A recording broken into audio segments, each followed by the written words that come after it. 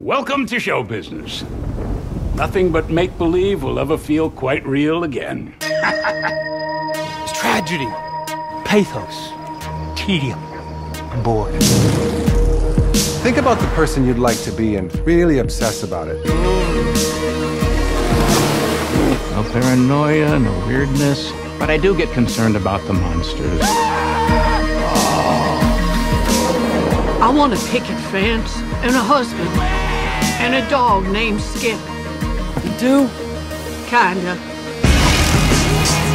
Make him pure! Good to see you, dog. Continue the search for the truth! We're not worthy. Back into my place. Celebs, they're not like you or me.